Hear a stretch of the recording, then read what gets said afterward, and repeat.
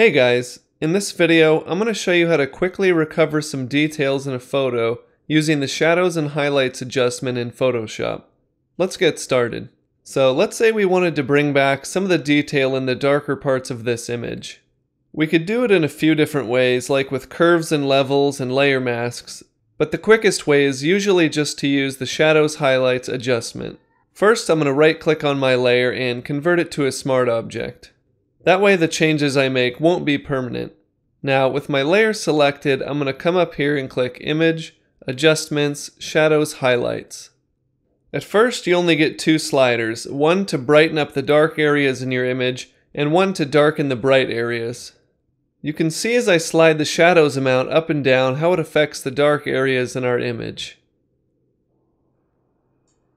And the same thing happens to the bright areas when I move the highlight slider up and down.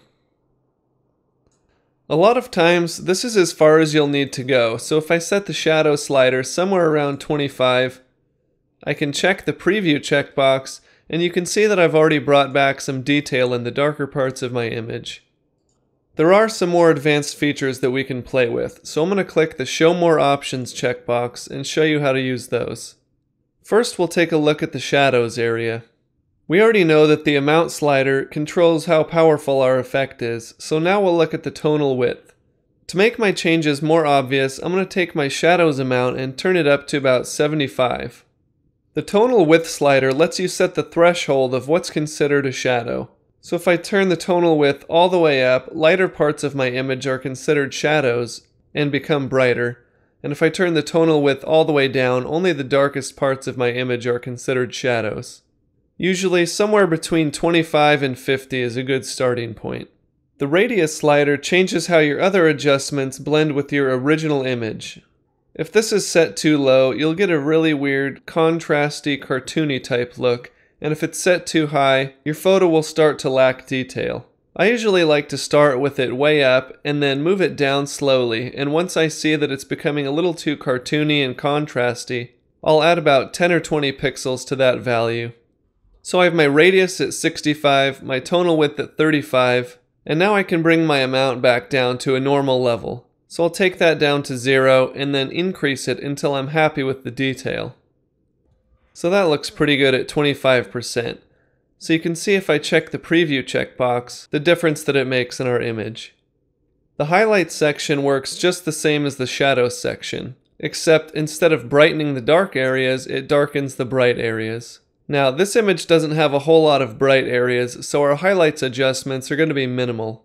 Again, I'm going to turn the amount all the way up so we can see our changes really easily, and then I'm going to adjust the tonal width until it affects just the areas that I consider highlights. Next, I'm going to set my radius to match the radius of my shadows, and then I'll take the amount down until I get the look that I want. The adjustments section at the bottom contains some more advanced features that you're rarely going to use. The color correction slider lets you add some color back into your image that gets taken out when you brighten the shadows and darken the highlights. The default value of plus 20 is usually good to leave alone. The midtone contrast and black clip and white clip areas change the overall contrast of your image. Typically, you'll want to leave that set to zero. So now that I've made my adjustments, I'm going to hit OK. And since we're working with a smart object, these become smart filters which you can turn on and off. So you can see the before and the after and how I've brought back some details in the shadows and the highlights without dramatically altering my original photo. Like a lot of effects, there's more than one way to do this in Photoshop, but the Shadows Highlights Adjustment tool is really quick and easy once you've used it a few times. I'm John Shaver for Photoshop Video Academy. Thanks for watching. I'll see you next time.